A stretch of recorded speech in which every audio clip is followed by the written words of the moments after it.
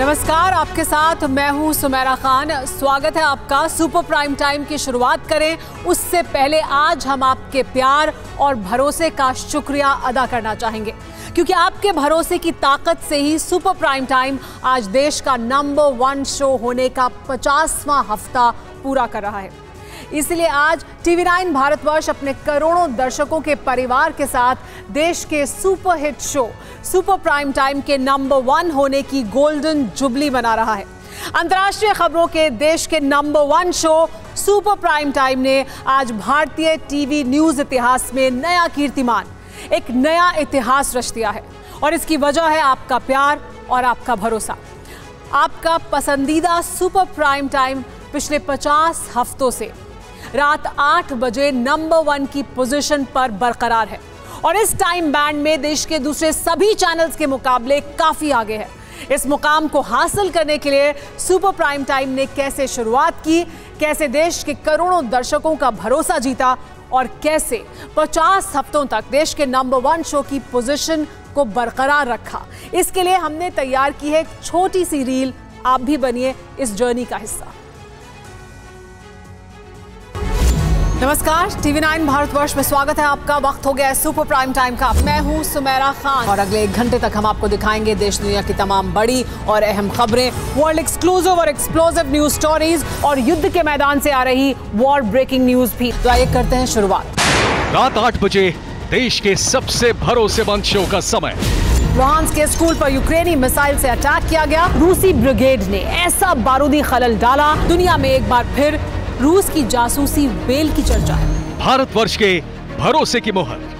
50 हफ़्ते से super prime time number one. इन सब आशंकाओं के बीच रूस की चिंता इसलिए भी बढ़ गई है। वॉर सिस्टम में जासूसी तत्वों की घुसपैठ कोई नई बात नहीं। युद्धपोत पर सीधा हमला करने की ज़िम्मेदारी। मतलब हमला भी और पुतिन को सीधा चैलेंज भी अब यूक्रेन ने तय कर लिया है। टेलीविज़न इतिहास की नई इनिंग अंतर्राष्ट्रीय खबरों का सबसे बड़ा बुलेटिन। हम इस वक्त फॉरवर्ड पोजीशन पर हैं। लगातार आर्टिलरी की गोलीबारी होती है। हर अंतर्राष्ट्रीय खबर की सच्ची ग्राउंड रिपोर्ट जा रहे थे यहाँ पर लगातार आर्टिलरी से फायरिंग की जा रही थी टीवी नाइन इस वक्त आपको रिपोर्ट कर रहा है। हम ग्राउंड ज़ीरो पर और यहाँ से कुछ फीट की दूरी पर है। लंबी कतार आपको हाईवे पे उन गाड़ियों की दिखेगी। दुनिया के हर डेवलपमेंट की inside story TV nine Bharatvarsh दुनिया का वो पहला न्यूज़ चैनल है जिसने ये दावा किया कुछ घंटे बाद जेड में विस्फोट की आशंका ज़ाहिर की जा रही है। हर ग्लोबल हलचल का सटीक विश्लेषण। बॉर्डर से यहाँ कुछ सबूत मौजूद है। हर एक अपडेट है। सबसे पहले आप तक हम पहुँचा। टीवी नाइन भारत और दर्शकों के भरोसे की मोहर। यही है सुपर प्राइम टाइम की ताकत। मैं Sumera Khan Nova Basan Ukraine से। TV nine Bharat Varsh Poland Belarus border और कवरेज यानी टीवी नाइन भारत वर्ष और इसलिए 50 हफ्तों से बादशाह बरकरार। कोई नहीं सुपर प्राइम टाइम के आसपास।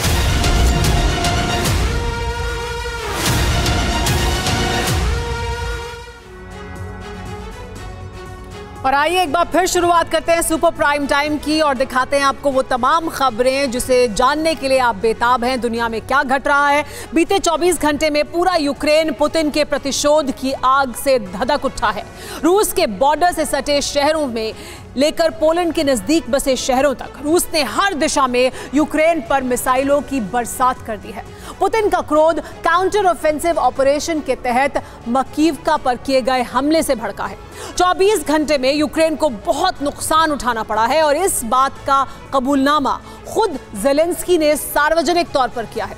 जेलेंस्की ने कहा है कि इस नुकसान का जिम्मेदार नेटो संगठन है। यूक्रेन के बढ़ते हमले और नेटो की भागीदारी को देखते हुए रूस ने घोषणा कर दी है कि न्यूक्लियर प्रहार ही अब अंतिम विकल्प है।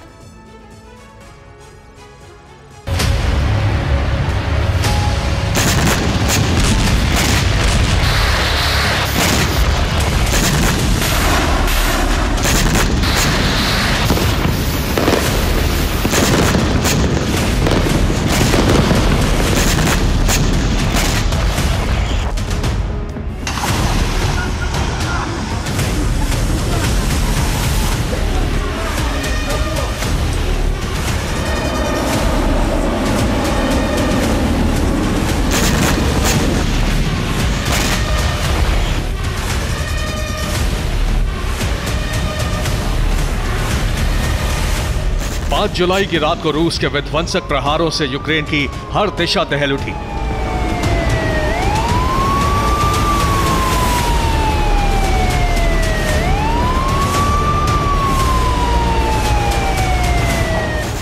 रूस की सेना ने यूक्रेन के बड़े शहरों पर मिसाइलों और ड्रोन की बरसात कर दी।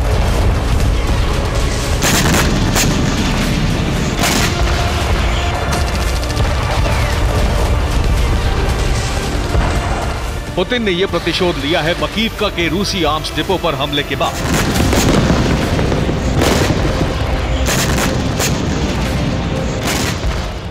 यूक्रेन की ड्रोन फोर्सेस ने दिन में रूस के मकीवका रॉकेट बेस की रैकी की और रात को इस पर ज़बरदस्त हमला किया।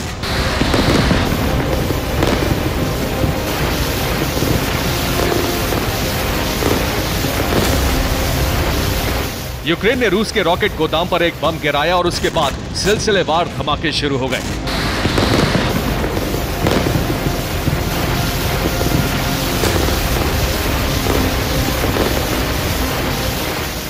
विस्फोट के बाद रॉकेट इलाके में दूर दूर तक फैलने लगे।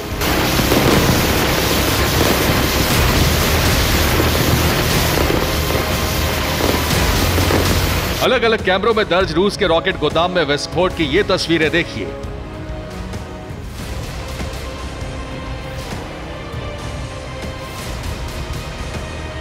यूक्रेन ने सिर्फ़ एक ही हमला नहीं किया मकीब का में रूसी कब्जे वाले एक ऑयल डिपो को भी टारगेट बनाया।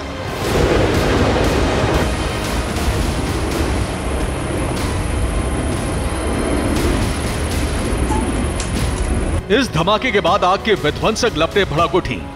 रूसी सेना के वाहनों को फ्यूल सप्लाई करने वाला डिपो घंटों तक धधकता रहा।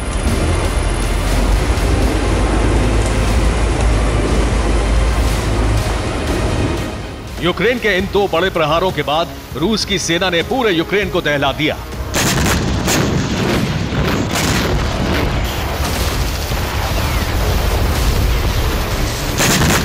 रूस की फौज फुल एक्शन में आ गई। रूस के कई शहरों पर एक साथ एयरबॉर्न अटैक होने लगे। पूरब से पश्चिम और उत्तर से दक्षिण तक यूक्रेन दहल उठा। ईस्टर्न फ्रंट लाइन से लेकर पोलैंड के बॉर्डर तक रूस की सेना ने विध्वंस मचा दिया।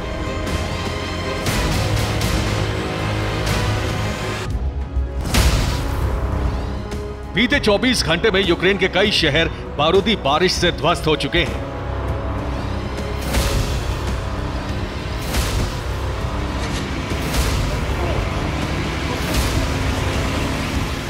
रूस ने सिर्फ़ ईस्टर्न फ्रंटलाइन के शहरों को ही निशाना नहीं बनाया, बल्कि पोलैंड के बॉर्डर से सटे यूक्रेन के पश्चिमी छोर पर बसे लवीव तक मिसाइलों की बारिश कर दी।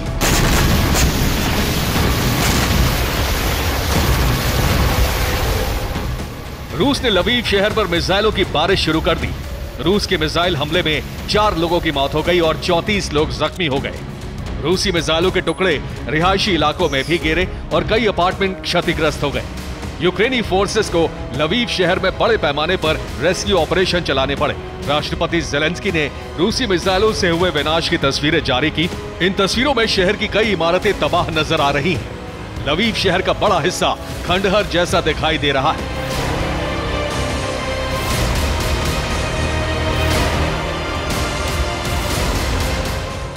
लवीव शहर को रूस ने इसलिए टारगेट बनाया क्योंकि यहाँ यूक्रेन के हथियार गोदाम हैं। नेटो से मिले हथियार यूक्रेन ने ईस्टर्न फ्रंट लाइन से दूर रखे हैं। इन्हीं हथियारों से रूस के सैन्य ठिकानों पर हमले किए जा रहे हैं। रूस ने लवीव में यूक्रेन के हथियार गोदामों को निशाना बनाया है।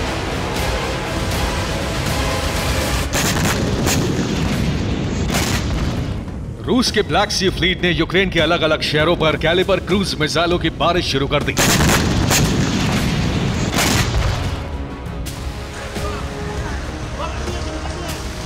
रूस की कैलिबर क्रूज मिसाइलों का टारगेट खारकीव भी बना।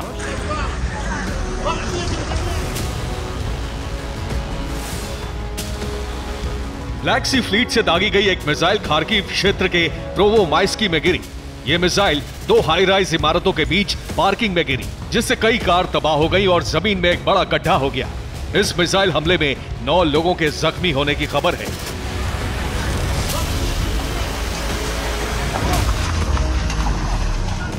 मकीवका पर हमला करने के बाद यूक्रेन को भारी नुकसान उठाना पड़ा है। रूस की एयरफोर्स ने ईस्टर्न फ्रंट लाइन पर भारी तबाही मचाई है।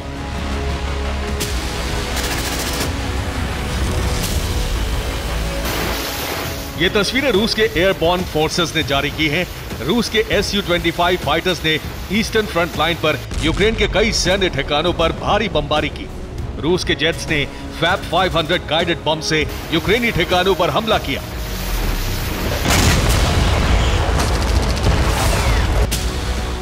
विमानों के गुजरते ही एक के बाद एक कई बड़े धमाके हुए और पूरा इलाका धुआँ धुआँ हो गया। ईस्टर्न फ्रंट लाइन के कई मोर्चों पर रूस ने 24 घंटे में यूक्रेन को भारी नुकसान पहुँचाया है।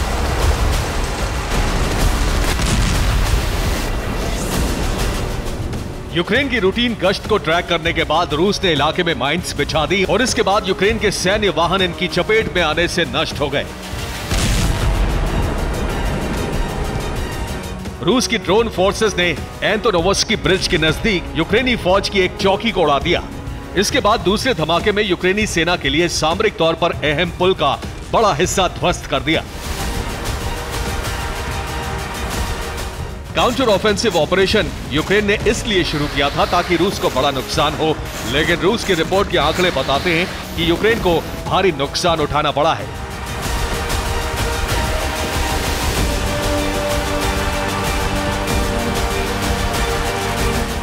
दिनेश पीपल रिपब्लिक के प्रमुख की रिपोर्ट में दावा यह कि यूक्रेन के काउंटर ऑफेंसिव से रूसी मोर्चों को ज़्यादा नुकसान नहीं हुआ। रिपोर्ट में दावा किया गया है कि काउंटर ऑफेंसिव में यूक्रेन को बड़ी तादाद में अपने सैनिक खोने पड़े और नेटो से मिले हथियारों का 80 फ़ीसदी जखीरा ध्वस्त हो गया।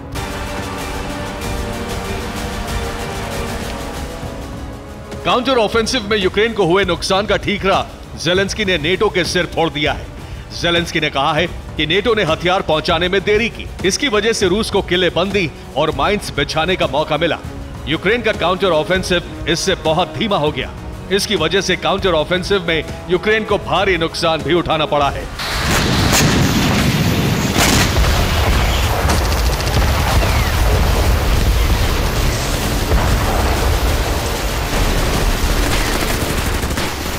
काउंटर ऑफेंसिव में हुए नुकसान से यूक्रेन की सेना पर नेटो का दबाव भी है और इसीलिए रूस के रिहायशी इलाकों पर हमले किए जा रहे हैं।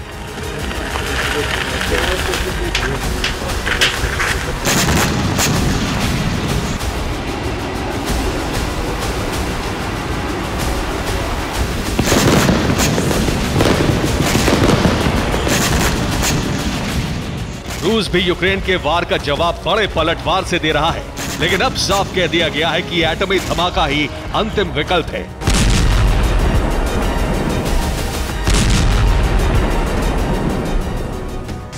ये टैक्टिकल न्यूक्लियर हमले का विनाशक संकेत है और आशंका बढ़ रही है कि युद्ध कभी भी परमाणु युद्ध में बदल सकता है।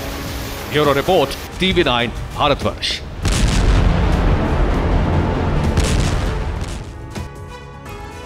रूस यूक्रेन के बीच बने बारूदी हालात में न्यूक्लियर तबाही टालने के लिए आईएईए ने जैपोरिजिया प्लांट को बचाने का इंतज़ाम कर लिया है। लेकिन सर्वनाश की आशंका टालने का इंतज़ाम कोई नहीं कर पाया। आपको जानकर हैरानी होगी कि एक बार फिर न्यूक्लियर प्लांट के ज़रिए एटमी विनाश की तैयारी हो रही है और इस तैयारी का मुख्य किरदार है यूक्रेन, जिसे मदद अमेरिका से भी मिल सकती है। ऐसा क्यों? और न्यूक्लियर तबाही की वो तारीख क्या है? देखिए इस रिपोर्ट में।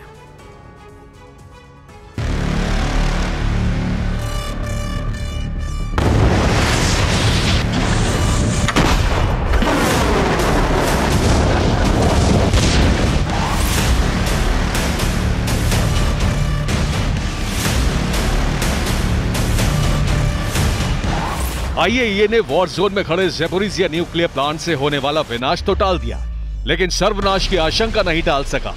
एपिसेंटर यही जेपोरिजिया न्यूक्लियर पावर प्लांट है। आपने बिल्कुल सही सुना। 5 जुलाई को जेपोरिजिया न्यूक्लियर प्लांट के तबाह होने की आशंका से जिस तरह की अटकलें लगाई जा रही थी, उन पर विराम तो लग गया, लेकिन एक नया विनाशकारी माहौल तैयार हो गया। यह माहौल है 11 जुलाई से पहले न्यूक्लियर तबाही का। और इस तरह का माहौल बनाने के लिए जिम्मेदार है नेटो के अंदर की हलचल। यानी रूस के खिलाफ एक्शन में नेटो के बिगड़े संतुलन को फिर से बनाने के लिए न्यूक्लियर ट्रिगर दब सकता है।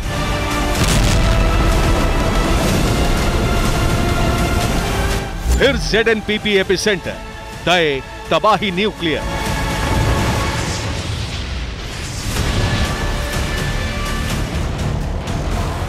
अब तक के हालात में रूस ने जेपोरिजिया न्यूक्लियर पावर प्लांट को टारगेट करने पर यूक्रेन का घेराव किया था, जिसमें दावा था कि 5 जुलाई को ही मिसाइल या ड्रोन से पावर प्लांट पर हमला हो सकता है।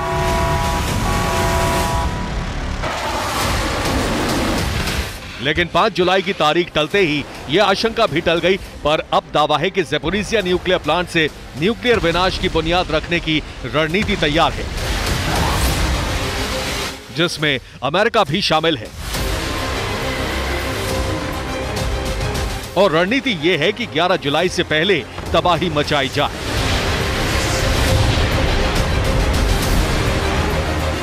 जेप्रोजिया न्यूक्लियर पावर प्लांट की तबाही को लेकर तैयारी नेटो ने नहीं की है बल्कि बारूदी एक्शन यूक्रेन और अमेरिका की तरफ़ से दिख रहा है। खबर है कि जेड की तबाही का मकसद टूटते नेटो को फिर से एकजुट करना है ताकि मदद के नाम पर हथियारों के साथ साथ सेना भी साझा हो सके। लेकिन सवाल सर्वनाश के लिए तय हुई तारीख 11 जुलाई पर है। आखिर 11 जुलाई के पहले ही न्यूक्लियर प्लांट के तबाह होने की आशंका क्यों है? इस सवाल के जवाब कुछ बिंदुओं में मिल रहे हैं। दरअसल 11 और 12 जुलाई को नेटो की सालाना बैठक है। लिथुआनिया में होने वाली बैठक में यूक्रेन युद्ध मुख्य मुद्दा होगा। इसमें कई नेटो देश यूक्रेन को हथियार देने से मना कर सकते हैं। वहीं जेलेंस्की ने नेटो के रुख पर सैन्य कमांडर के साथ गुप्त बैठक कर ली है।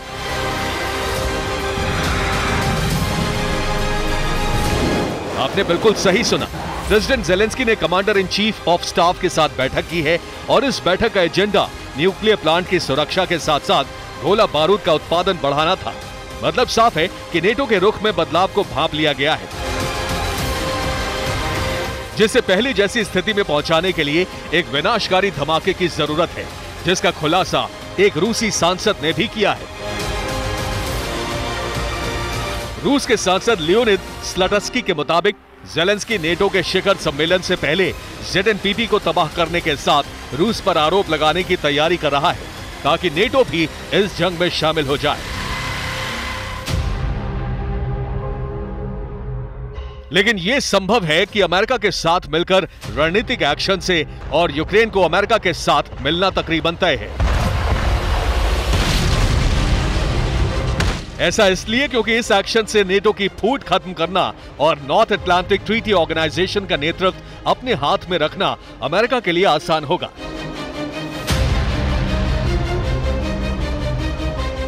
अब सवाल, नेटो में टूट पर है। क्या यह सच है? जवाब भी देखिए। जर्मनी ने यूक्रेन को टैंक की सप्लाई फ़िलहाल रोक दी है। फ्रांस ने भी यूक्रेन को सप्लाई पैकेज की समीक्षा शुरू कर दी है। हंगरी भी यूक्रेन को और हथियार देने के पक्ष में नहीं है। नेटो की बैठक में हंगरी हथियार आपूर्ति के खिलाफ मतदान भी करेगा। इसके अलावा, तुर्की भी संभवतः यूक्रेन को हथियार देने पर नाराज़गी दर्ज करने वाला है। यानी 31 देशों के जिस संगठन में यूक्रेन एंट्री के लिए बेसब्र हो रहा है, वो यूक्रेन को दी जा रही मदद पर ही टूट रहा है।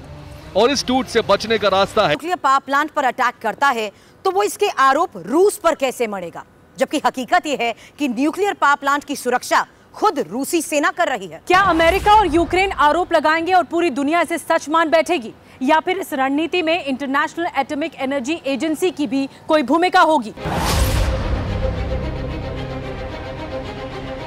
जेडएनपीपी से मचने वाली तबाही को लेकर किसी भी भूमिका से इनकार नहीं किया जा सकता।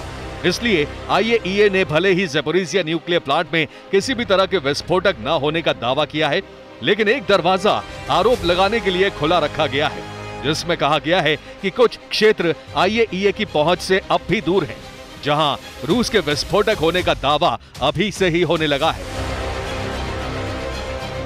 ये दो तस्वीरें सैटेलाइट से ली गई जिसमें पहली तस्वीर में छत पूरी तरह क्लीन दिखाई गई है। लेकिन दावा है कि 5 जुलाई को ली गई तस्वीर में चौथी यूनिट की छत पर कुछ सामान रखा हुआ देखा गया है। हालाँकि सच क्या है, इस पर अभी कोई दावा नहीं है। लेकिन खबर सच है तो रूस पर जेपोरिजिया न्यूक्लियर प्लांट की तबाही का आरोप मढ़ने की तैयारी पहले ही हो चुकी है। इसलिए रूस भी सतर्क है, ताकि 1986 की चेरनोबिल जैसी घटना से न सिर्फ़ बचा जा सके, बल्कि दुनिया के सामने न्यूक्लियर विलन बनने से भी बचाव हो सके। Bureau report, TV nine Bharatvarsh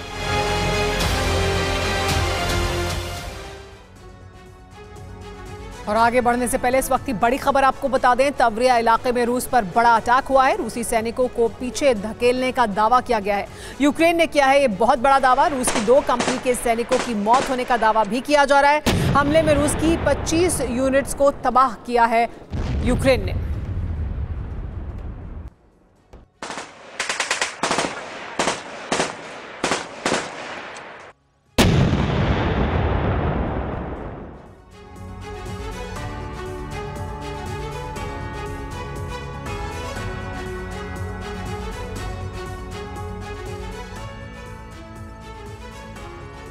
बारह जुलाई यानी तबाही की तारीख। 12 जुलाई को यह तय हो जाएगा कि दुनिया कितने बड़े खतरे में घिर चुकी है।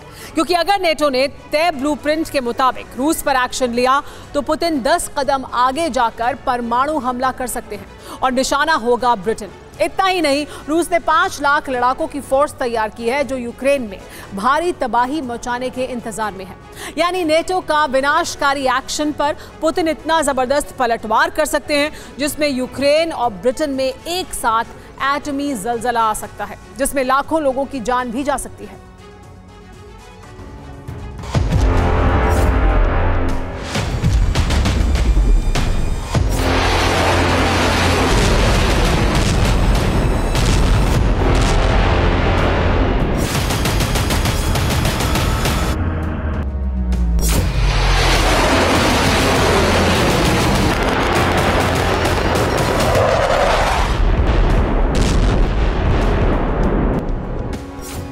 बारह जुलाई यानी कयामत का दिन।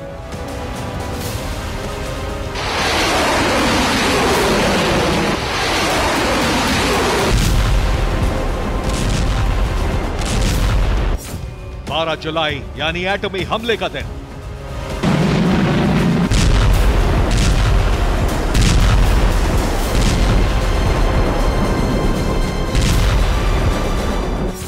बारह जुलाई यानी तीसरे विश्व युद्ध का आगाज़।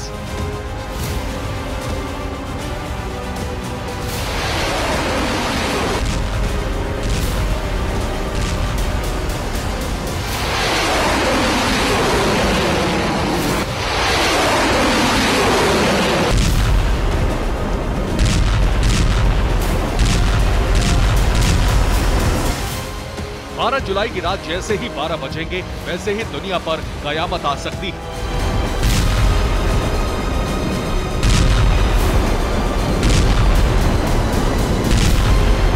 और इसकी शुरुआत ब्रिटेन से हो सकती है। क्योंकि रूस ने इतनी ज़बरदस्त तैयारी कर ली है कि वो एक एक करके उन तमाम शहरों को निशाना बनाएगा, जहाँ सबसे ज़्यादा तबाही हो।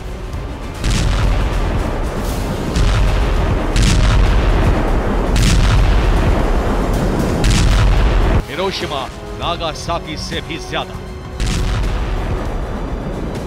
पहले रूस के टारगेट पर ब्रिटेन के कौन से शहर है वो देख लीजिए, और वहाँ अगर परमाणु हमला होता है तो कितने लोगों के मारे जाने की आशंका है?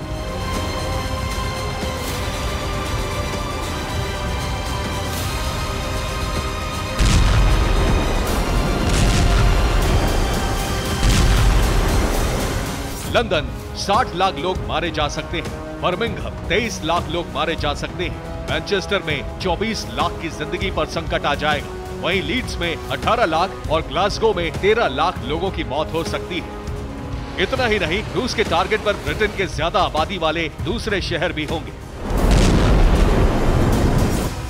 इसके अलावा 23 RAF base 14 USAF base 10 radar station 8 military command centre 13 royal navy base. इन पर भी रूस मिसाइल अटैक करके उन्हें तहस नहस कर सकता है।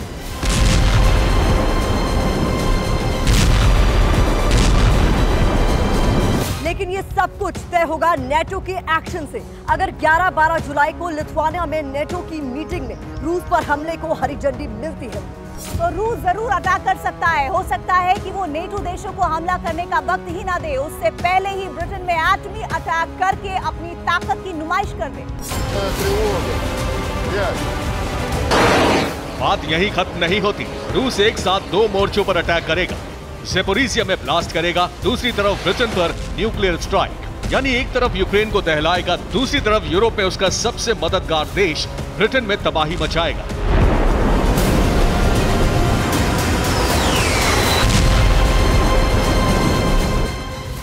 वैसे भी जेलेंस्की ने दो दिन पहले इस खतरे से आगाह कर दिया था कि रूस जेपोरिजिया न्यूक्लियर पावर प्लांट को धमाका करके उड़ाना चाहता है, जिससे प्लांट में लगे छह रेडियो एक्टिव रिएक्टर उड़ जाएँ और वैसा ही कहर बरपे जैसा चेरनोबिल त्रासदी के वक्त हुआ था। इस खतरे के बारे में रूस के deputy prime minister Dmitry Rogozin करीब एक महीना पहले ही आगाह कर चुके हैं। अगर रूस जंग हारने लगेगा तो पुतिन टैक्टिकल एटमी वेपन निकाल देंगे।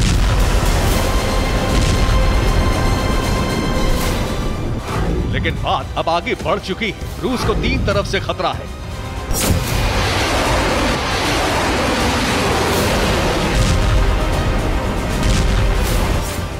पहला खतरा नेटो मॉस्को पर अटैक कर सकता है। दूसरा खतरा, यूक्रेन क्रीमिया पर अटैक कर सकता है। तीसरा खतरा प्रेगोजिन जैसे विद्रोह से गृह युद्ध का खतरा। ज़ाहिर है, ऐसे में पुतिन भी खामोश नहीं बैठने वाले। उन्होंने भी तैयारी कर ली है। जहाँ एटमी हमले के लिए न्यूक्लियर वॉरहेड लगी मिसाइल अलर्ट मोड में रखी जाएँगी। दूसरी तरफ़ पाँच लाख अतिरिक्त सैनिकों की भर्ती करके युद्ध में झोंक दिया जाएगा और तीसरी तैयारी रूस में की जाएगी, जहाँ पुलिस फोर्स और कमांडो फोर्स को विद्रोह से निपटने के लिए हाईटेक वेपन से लैस किया जा रहा है। फेडरेशन ऑफ़ अमेरिकन साइंटिस्ट के मुताबिक रूस में ही 15 न्यूक्लियर बेस है, जहाँ लॉन्ग रेंज मिसाइल तैनात है, जो आसानी से ब्रिटेन में हमला करके हिरोशिमा नागासाकी से तीन गुना ज़्यादा तबाही मचा सकती। है Stockholm international peace research institute यानी सीरी के मुताबिक रूस के पास पाँच न्यूक्लियर वेपन है, जो दुनिया में सबसे ज़्यादा है, जिसमें से करीब 1600 एटमी वेपन बैलिस्टिक मिसाइल पर लगाए हुए हैं।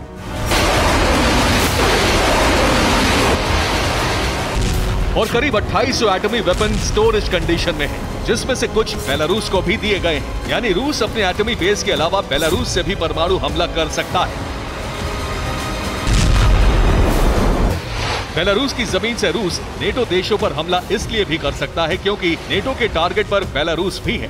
बेलारूस ने खतरा जताया है कि ऐसा कोई भी दिन नहीं जाता जब नेटो बेलारूस की हवाई सीमा तक एयर ड्रिल ना करे।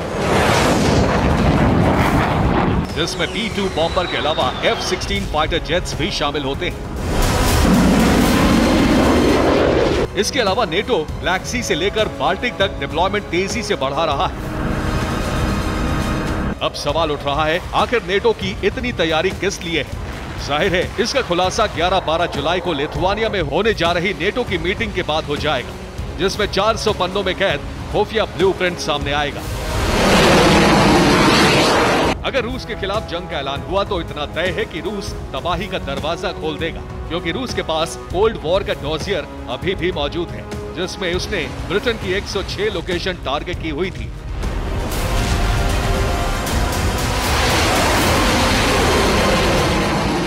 जहाँ जहाँ उसे एटमी अटैक करना था, अगर रूस ने उसी डोजियर के मुताबिक एक्शन लिया तो ब्रिटेन की बर्बादी कोई नहीं रोक सकता। Bureau report TV nine Bharat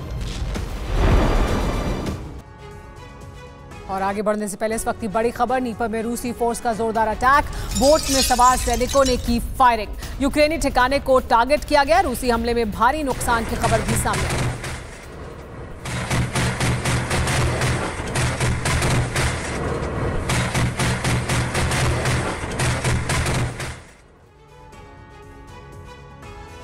आसमान में बड़े टकराव की आहट सुनाई दे रही है। दुनिया के दो सुपर पावर बार बार आसमान में एक दूसरे को चुनौती दे रहे हैं। बार बार एक दूसरे से टकरा रहे हैं। क्या ये टकराव किसी बड़े महायुद्ध का सिग्नल है?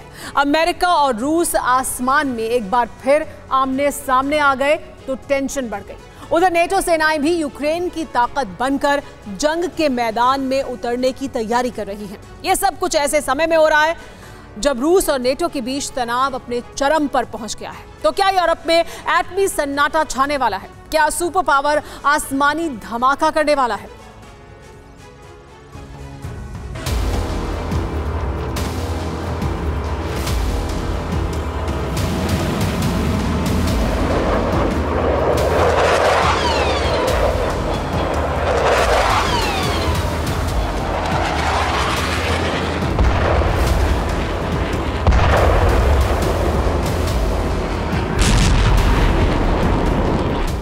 क्या अमेरिका और रूस के बीच होने वाला है भीषण युद्ध।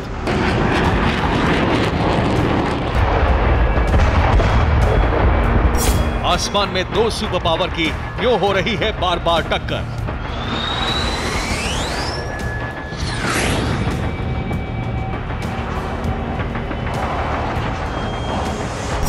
क्या नेटो समिट के बाद क्रेमलिन पर होगा अटैक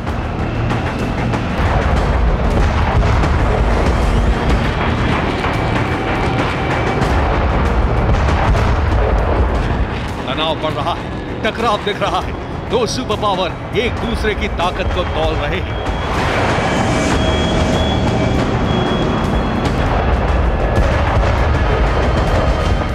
रूस और अमेरिका के बीच एक बार फिर आसमानी भिड़ंत हुई।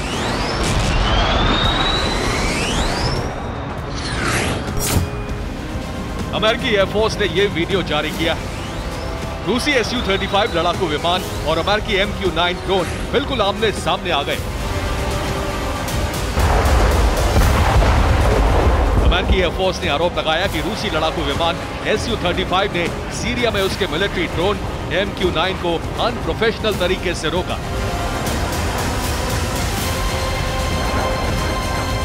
अमेरिका ने रूस पर अपने ड्रोन को परेशान करने का आरोप लगाया। और रूसी लड़ाकू विमान के बिल्कुल आमने सामने हुई भिड़ंत का वीडियो जारी कर सबूत भी पेश किया।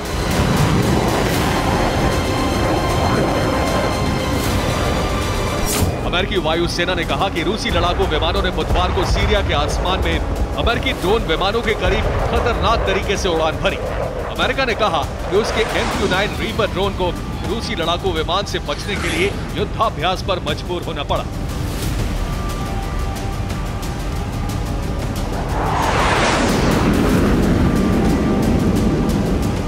अमेरिकी एयरफोर्स के दावे के मुताबिक उसके तीन M Q nine reaper drone पर लगे कैमरों में रूसी फाइटर जेट का उकसाने वाला एक्शन कैद हो गया। दावे के मुताबिक रूसी S U thirty five jet ने अमेरिकी ड्रोन के रास्ते में पैराशूट फ्लेयर्स गिराए। एक रूसी जेट ने ड्रोन के सामने अपने आफ्टर बर्नर का भी इस्तेमाल किया। यूएस जनरल ने रन इन को गैर पेशेवर तरीका बताते हुए उसे रोकने के लिए कहा।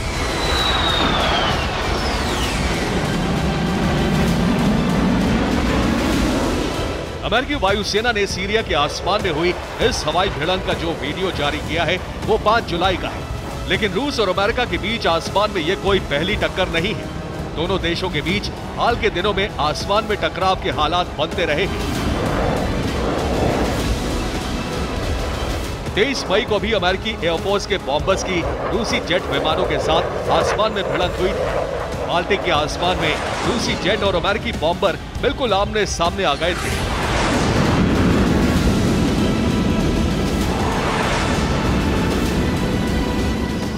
इससे पहले रूस और अमेरिका के बीच आसमान में टकराव के हालात 14 मई को भी बन गए थे, जब अमेरिकी फाइटर जेट्स ने अलास्का के पास अंतर्राष्ट्रीय हवाई क्षेत्र में उड़ान भर रहे छह रूसी विमानों को रोक दिया था।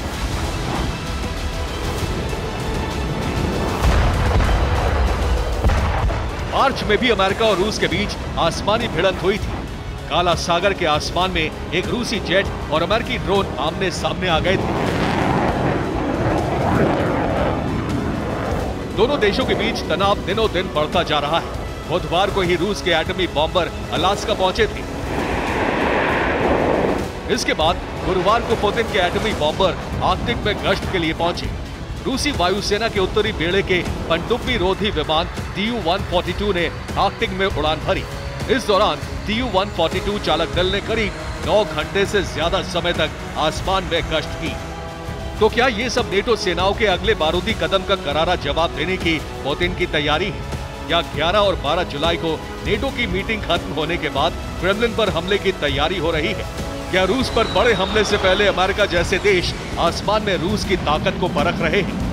ये सवाल इसलिए उठ रहे हैं क्योंकि मीडिया रिपोर्ट्स के मुताबिक लिथुआनिया की बैठक के बाद नेटो सेनाएँ यूक्रेन में उतरने की तैयारी कर रही हैं। मतलब आसमान से लेकर ज़मीन और समंदर तक वॉर का नया चैप्टर जल्द शुरू हो सकता है।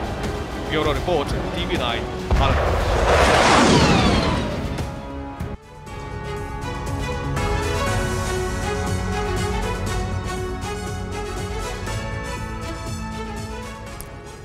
जिस ब्लैक सी से रूस यूक्रेन की जंग शुरू हुई थी, उसी ब्लैक सी में फिर से बारूदी बवंडर आ सकता है, क्योंकि रूस यूक्रेन पर बड़े हमले की तैयारी में जुटा है। ब्लैक सी के रास्ते ऑपरेशन डाक को अंजाम देने के लिए रूस ने ऐसी फ्लीट मैदान में उतारी है, जिसके हमले से यूक्रेन के कई शहर तहस नहस हो सकते हैं।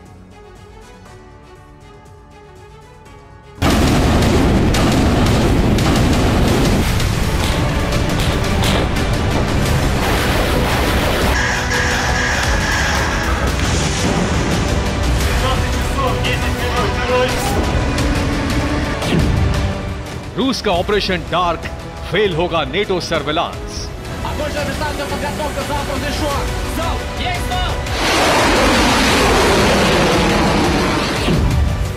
ब्लैक सी में फिर छिड़ेगी जंग, अब सरेंडर करेगा यूक्रेन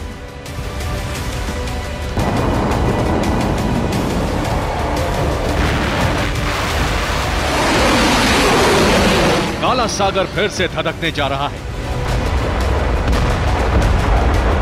ब्लैक सी में फिर से बारूदी बवंडर आने वाला है।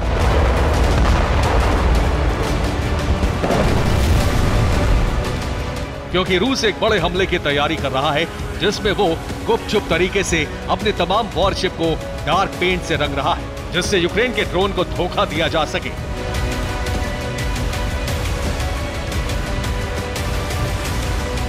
इतना ही नहीं नेटो और यूक्रेन के सर्विलांस भी ये पता लगाने में नाकाम हो जाए कि कौन सा शिप है कितना बड़ा है और उस पर कौन कौन से हथियार तैनात हैं।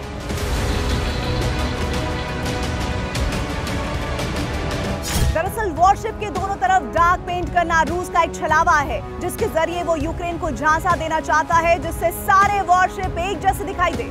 डार्क पेंट कर नेटो सर्विलांस के ज़रिए जब तक ये पता लगा पाएगा कि कौन सा शिप कहाँ जा रहा है। इतने में रूस बड़ा अटैक करके यूक्रेन को दहला सकता है। आपको दो तस्वीरें दिखाते हैं। पहली तस्वीर इसी साल 26 जनवरी की है, जब ब्लैक सी में मौजूद एडमिरल एसन शिप पर पेंट नहीं किया गया था। वो सफ़ेद रंग में दिख रहा था। दूसरी तस्वीर 22 जून की है, जिसमें डार्क पेंट से रंगा हुआ एडमिरल एसन शिप दिखाई दे रहा है। प्लैनेट लैब ने सैटेलाइट इमेज जारी की है, जिसमें सेवेस्तोपोल पर admiral Essen warship dark paint में खड़ा दिख रहा है। इसके अलावा तीन और शिप नज़र आ रहे हैं, जिन पर हाल ही में पेंट किया गया है।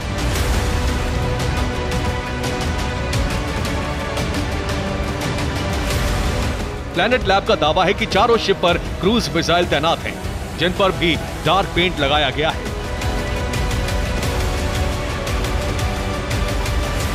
जिन शिप पर डार्क पेंट किया गया है, उनके नाम है admiral Essen, admiral Grigorovich, admiral Makarov one M class. चारों शिप में से दो कॉर्बेट सीरीज़ के शिप हैं और दो फ्रिगेट हैं। चारों ही शिप पर कैलिबर सीरीज़ की मिसाइल तैनात हैं, जो यूक्रेन के किसी भी इलाके में तबाही मचाने में सक्षम है।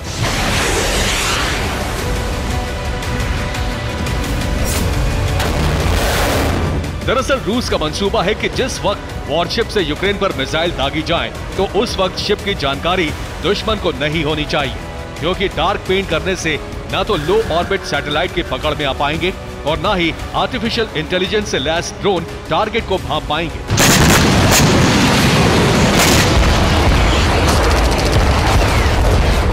ऐसे में रूस को बड़ा अटैक करने का मौका मिल जाएगा।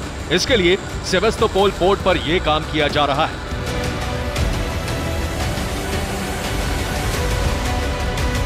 रूस ये भी नहीं चाहता कि जो मॉस्कवा और मकरोव शिप के साथ हुआ, वो बाकी शिप के साथ हो।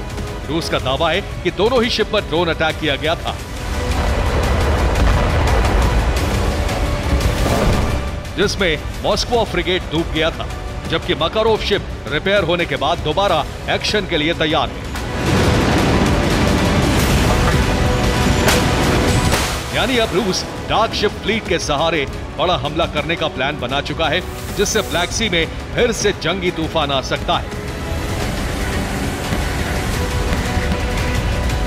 Bureau report, TV nine, Bharatvarsh.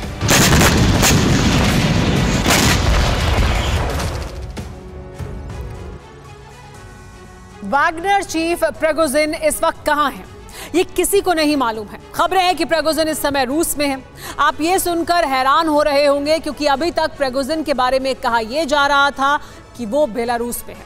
और वहाँ से कीव के लिए रवाना होकर वैगनर आर्मी बड़ा अटैक करने वाली है। लेकिन प्रेगोजिन को लेकर लगातार नई खबरें सामने आ रही हैं। रूस में प्रेगोजिन के टॉप सीक्रेट बंकर में कैमरा पहुँचा। रशियन फोर्स ने प्रेगोजिन के घर की तलाशी ली। आखिर प्रेगोजिन को लेकर पुतिन का प्लान क्या है और पुतिन उनका क्या करना चाहते हैं? इसे लेकर कई तरह के कयास भी लगाए जा रहे हैं।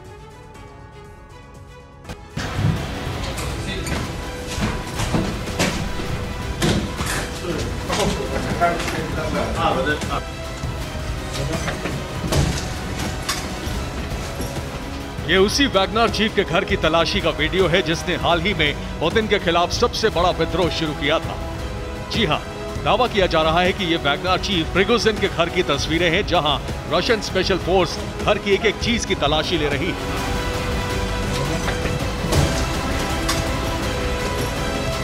प्रिगोजिन के टॉप सीक्रेट बंकर में कैमरा पहुँचा हुआ है, तलाशी चल रही है। पुतिन की फोर्स घर के चप्पे चप्पे को छान रही है। एक एक चीज़ खंगाल रही है। दावा किया जा रहा है कि रशियन स्पेशल फोर्स ने ये रेड प्रिगोजिन के सेंट पीटर्सबर्ग में स्थित घर में की। जहाँ कई हथियारों के अलावा भारी मात्रा में सोने के बिस्किट और कई तरह के विग भी मिले। इस वीडियो और तस्वीरों को देखकर यह सवाल उठना लाजमी है कि क्या प्रिगोजिन के घर में रेड पुतिन के इशारे पर की गई? क्या पुतिन बागी प्रिगोजिन से बदला ले रहे हैं? या फिर ये कार्रवाई नेटो को चकमा देने की पुतिन की रणनीति है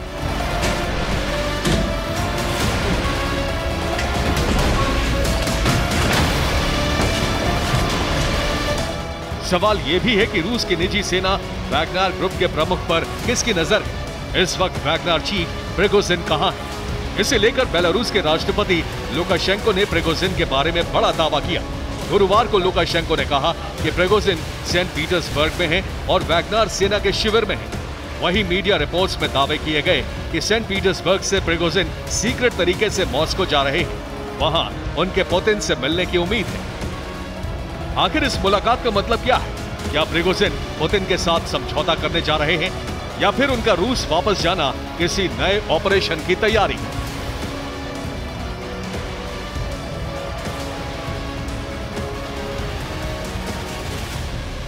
अटकलें यह भी लगाई जा रही हैं कि प्रेगोजिन के वापस रूस जाने और पुतिन के साथ सीक्रेट मुलाकात का बड़ा मतलब है।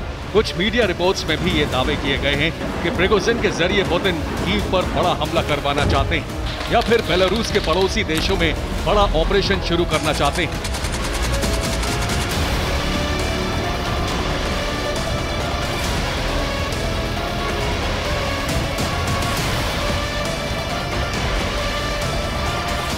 पिछले हफ़्ते बेलारूस के राष्ट्रपति लोकाशेंको ने कहा था कि प्रेगोजिन बेलारूस में है। फिर गुरुवार को उन्होंने कहा कि प्रेगोजिन सेंट पीटर्सबर्ग में है और वहाँ से मॉस्को जा सकते हैं। लुकाशेंको के इन बयानों से एक बात साफ़ है कि वैगनार चीफ बेलारूस में नहीं, वो रूस में है और प्रेगोजिन को लेकर जल्द ही बड़ा खुलासा हो सकता है।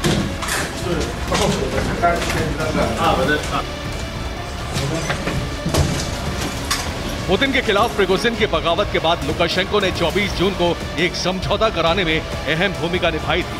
जिसमें प्रिगोजिन और वैगनार सैनिकों के लिए सुरक्षा का वादा भी किया गया था।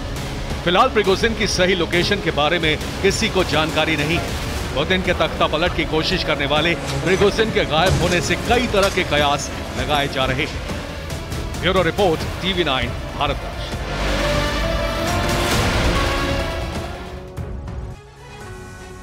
कुदरत के क्रोध से चीन का बुरा हाल है। चीन के लिए जुलाई आपदा लेकर आई है। चीन में इस वक्त प्राकृतिक आपदाओं के चलते लाखों लोगों की जान मुसीबत में फंसी हुई है। कहीं भारी बारिश के चलते बाढ़ में 36 से ज़्यादा शहर डूब गए हैं तो कहीं बढ़ते तापमान के चलते चीन के लोगों का हाल बेहाल है। देखिए चीन पर छाए संकट की ये रिपोर्ट।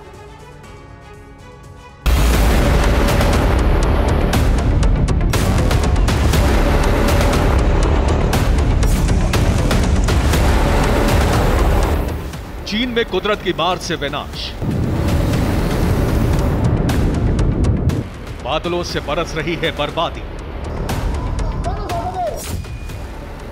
खतरे में लाखों जान चीन में त्राहिमाम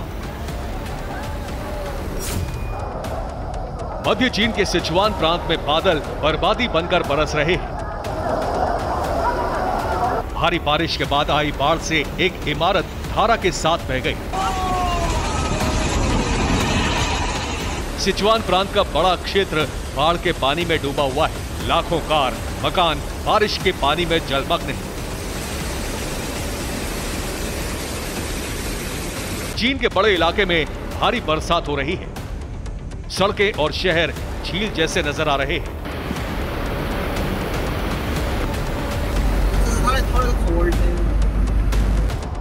चीन में अब तक 15 लोगों की मौत की खबर है। 36 शहर बुरी तरह बाढ़ की चपेट में है। लोगों को खतरे वाले इलाकों से बाहर निकाला जा रहा है। चीनी अधिकारियों ने जुलाई महीने में कई प्राकृतिक आपदाओं की चेतावनी जारी की। चीन की समाचार एजेंसी शिन्हुआ की रिपोर्ट है कि कुछ हिस्सों में भारी बारिश के कारण लाखों लोग प्रभावित हो चुके हैं।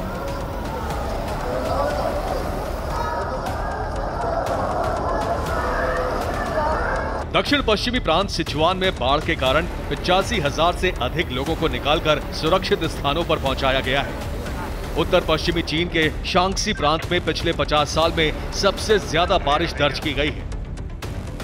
मूसलाधार बारिश के दौरान घर और सड़कें क्षतिग्रस्त हो गई पिछले सप्ताह हुनान प्रांत में बाढ़ की मार से 2000 से ज़्यादा घर क्षतिग्रस्त हो गए थे। हुनान में पानी से भरी सड़क पर बहती कार नज़र आ रही थी।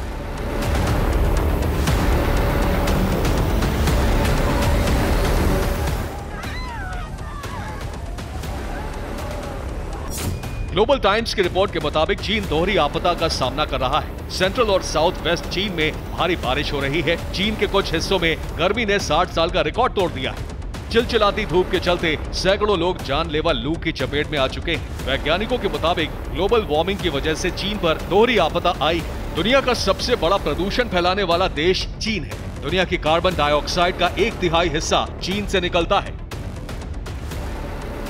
ग्लोबल वार्मिंग बढ़ाने में चीन की सबसे बड़ी भागीदारी है। धरती का बढ़ता तापमान चीन के लिए दोहरी मुसीबत लेकर आया है। Bureau report, TV nine, Bharat.